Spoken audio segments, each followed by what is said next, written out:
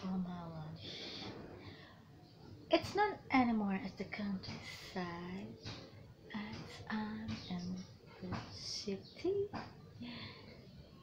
at my own house to be repaired soon for construction. Come on, let's eat. Good morning.